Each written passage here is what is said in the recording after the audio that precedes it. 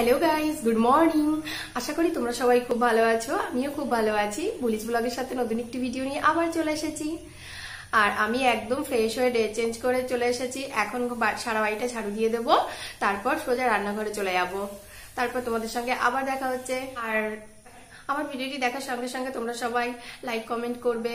আর আমার চ্যানেলটিকে সাবস্ক্রাইব করতে একদমই ভুলবে না। সঙ্গে সঙ্গে বেল আইকনটিও প্রেস করে দেবে যাতে আমার সমস্ত নতুন নতুন আপলোড ভিডিও নোটিফিকেশনগুলি তোমরা পেয়ে যাও। আর খুব তাড়াতাড়ি সেগুলোকে ওয়াচ করতে পারো। এটা আমি এখন লাগিয়ে নেব। এটা ব্যান্ডেড পরশু দিন মাছ কাটতে গিয়ে হাত কেটে গেছিল।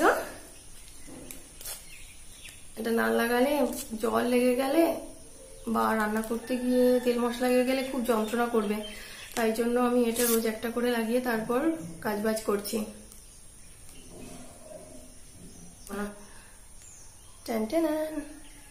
লাগিয়ে নিয়েছি।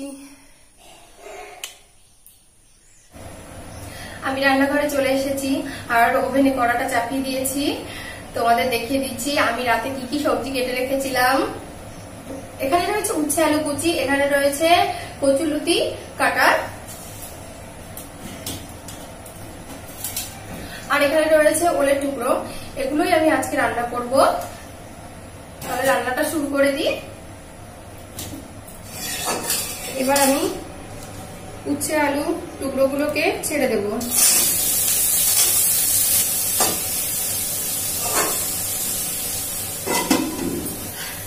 তোমরা তো দেখছ যে আমি এখন আর ভোর সাড়ে পাঁচটায় উঠছি না। উঠছি না বলতে উঠতে পারছি না।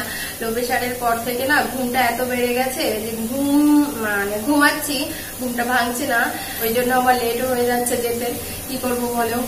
শরীরটা এখন আগের থেকে অনেকটা বেটার আমি এইভাবে সমস্ত রান্নাগুলো কমপ্লিট করে নেব। তারপর আবার তোমাদের সঙ্গে দেখা করছি। আমার উচ্ছে আলু ভাজা। আর লতি ভাজাটা কমপ্লিট হয়ে গেছে। বাবাকে পাঠিয়েছিলাম মাছ আনতে বাজারে। বাবা মাছ এনে দিয়েছে, দেখো। এই মাছগুলোকে আমি পরিষ্কার করে নিয়েছি। এখন মাছগুলোকে ফ্রাই করে নেব। তারপর মাছের তরকারি তৈরি করব। কড়াইতে তেল দিয়ে দেব। দেখো লবণ হলুদ মাখানো হয়ে গেছে। এবার আমি একটা করে তেলের মধ্যে ছেড়ে দেবো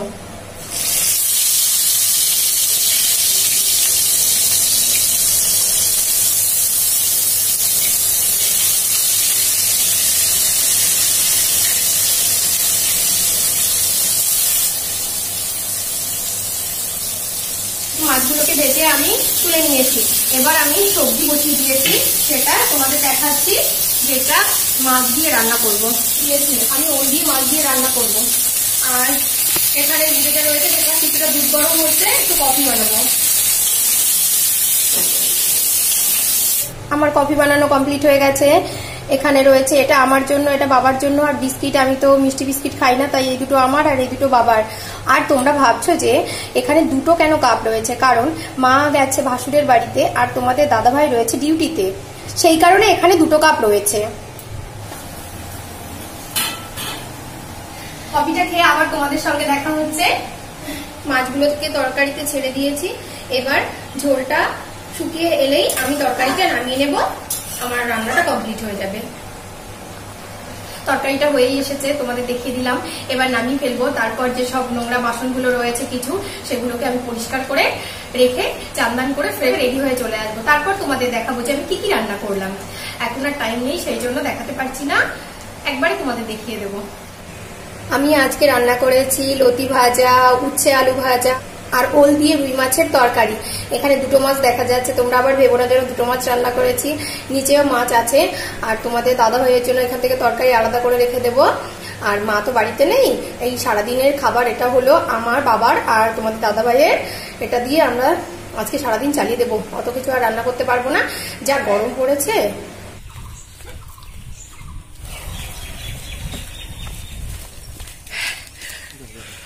অনেক লেট হয়ে গেছে, সেই জন্য ভিডিও করতে পারিনি বাড়িতে। এই যে বাবা নিতে চলে এসেছে, এখন আমি বেরিয়ে পড়ব বাবার সঙ্গে। তাহলে এখন টাটা। হাই আমি বাড়ি চলে এসেছি, বাবা পৌঁছে দিয়ে গেছে। আর দেখো, গরমে কি অবস্থা? টিপটা তো পুরো ভ্যানিশ হয়ে গেছে। আর এখন ফ্রেশ হব, কারণ বাইরে ভীষণ রৌদ্র। ঘেমে নিয়ে পুরো একাকার অবস্থা। চান্দান করে ফ্রেশ হয়ে আবার তোমাদের সঙ্গে দেখা হবে। চান্দান কমপ্লিট করে চলে এসেছি। দেখে তো মনেই হচ্ছে না চান করেছি, কারণ ছাদে গেছিলাম জামা কাপড় মেলতে, আর কিছু জামা কাপড় ছিল, সেগুলো নিয়ে এলাম। এই যে, এগুলোকে আমি এখন গুছিয়ে রাখব। যা গরম পড়েছে, তাতে চান করাও যা না করাও তাই। মানে কি, দেখতে দেখতে, দেখে। দেখে মনে হবে না যেন চান করেছি। তোমরা সবাই দেখতে পাচ্ছ যে আমাকে কেমন লাগছে দেখতে। একদমই মনে হচ্ছে না যে চান করেছি। তাহলে জামা কাপড়গুলোকে গুছিয়ে নিই। ইয়া, এই দেখো জামা কাপড়গুলো আমার ভাঁজ করে গোছানো হয়ে গেছে, এবার আমি এগুলোকে রেখে দেব। আর গরমে আমি পুরো বিধ্বস্ত হয়ে গেছি, আর পারছি না। এবার মা বাবাকে খেতে দিয়ে আমি একটু রেস্ট নিয়ে নেব। পরে আবার তোমাদের সঙ্গে দেখা হচ্ছে। আর আমি এখন খাব না, সেটা তো তোমরা জানো। তোমাদের দাদা ভাই আসবে বিকালবেলায়, তখন ও এলে একসঙ্গে খাব। মা বাবাকে খেতে দিয়ে আমি আবার রুমে চলে এসেছি। আর এখন আমি একটু রেস্ট নিয়ে নেব।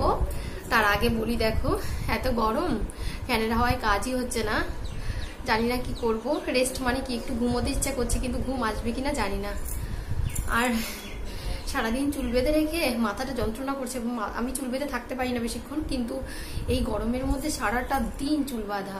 আর মাথা যন্ত্রণায় মানে ছিঁড়ে যাচ্ছে একেবারে। মাথা যন্ত্রণায় পুরো ছিঁড়ে যাচ্ছে। একটু রেস্ট করব, আর বিশেষ করে ঘুমানোর চেষ্টা করব। তোমাদের দাদা ভাইয়ের সঙ্গে ফোনে কথা হলো, ও বলেছে চারটে নাগাদ বাড়িতে আসবে, আর এখন বাজে দুটো, তার মানে আমি দু ঘণ্টা রেস্ট করতে পারব। তাহলে একটু রেস্ট করে নিই। তোমাদের দাদাভাই বাড়িতে চলে এসেছে, আমরা খাওয়া দাওয়া কমপ্লিট করে নিয়েছি, আর কটা অ্যাপেল কেটেছি। এখানে আমরা এখন অ্যাপেলগুলোকে খাব, আর রয়েছে কিছুটা দই। এই যে, এটা তোমাদের দাদা ভাইয়ের জন্য। ওর জন্য এখানে বাড়িতেই টক দই পেতে রাখি, এটা ওকে দিয়ে দেবো। আর তোমাদের সঙ্গে পরে আবার কথা হবে। এখন সাজুগুজু করব, তোমাদের দাদাভাইয়ের সঙ্গে একটু ঘুরতে বেরোবো। তার জন্য সাজুগুজু স্টার্ট করে দিয়েছি। দেখো ক্রিম লেগে আছে ঠিক করে। লাগিয়েও নিনি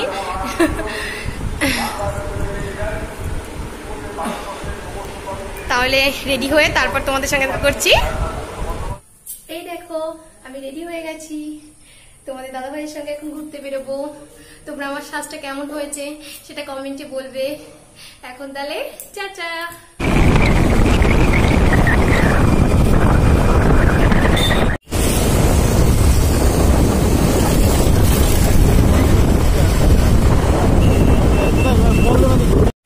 এই দেখো, সিঙ্গারা কিনেছি, সিঙ্গারা খাব আমরা এখন। ওই যে ওই দাদাটার দোকান থেকে। তোমাদের দাদা ভাইয়ের সঙ্গে ঘুরতে বেরিয়েছিলাম, সেটা তো তোমরা জানো। তারপর বাড়ি চলে এসেছি ফ্রেশ হয়ে রান্নাঘরেও চলে এসেছি। আর রান্নাঘরে এসে এখন রান্নার আয়োজন করছি রাতের। রাত্রে হবে ডাল, ভাত আর আলু চোখা আর দুধ রয়েছে। আর মা তো রাতে রুটি খাবে, মায়ের জন্য রুটি বানাবো। আর দেখো কি অবস্থা। এগুলো সব গরমে ঘামছি, ফ্যান চলছে, তবু কাজ হচ্ছে না। আর রান্না করতে করতে তোমাদের সঙ্গে আর কথা বলব না এখন। ভীষণ কষ্ট হচ্ছে। রান্নার পরে আবার তোমাদের সঙ্গে দেখা হচ্ছে। বেডের অবস্থা খুবই খারাপ। বেড কাভারটা তুলতেই হবে। মানে কেমন একটা লাগছে তোমাদের। দাদা ভাই তো ঘুমোতেই পারছে না ওখানে। আমাকে বলল, শিগগির বেড কাভারটা চেঞ্জ করে দাও। আমি এখন বেড কাভারটা চেঞ্জ করছি। রান্না ওদিকে হচ্ছে। বেড কাভারটা চেঞ্জ করে আবার আমি রান্নাঘরে চলে যাব। আমার রাতের ডিনার কমপ্লিট হয়ে গেছে। আর আজ যা গরম পড়েছিল তাতে মানে ভীষণ বিশ্রী অবস্থা হয়েছিল। একদম চান্দান কমপ্লিট করে রাতে ব্রাশ করে চলে এসেছি। দেখো হাতে সেই ব্যান্ডেডটা লাগানো রয়েছে। এটা আমি রিমুভ করে তারপর ঘুমোবো। কাটা জায়গাটা একটু শুকাবে। আর না হলে এটা যদি আমি রাত্রেও বেঁধে রাখি, জায়গাটার অবস্থা খুব খারাপ হয়ে যাবে।